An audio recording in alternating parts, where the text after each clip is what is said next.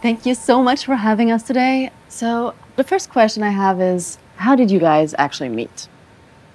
well, I just, I've known her like my whole life, my whole life. And I just knew ever since the start, like she had greatness written all over her. Like the energy she gave me, the feeling she gave me, you know what I'm saying? Cause I feel the unconditional love, like even when she's not with me, just knowing that she has my back,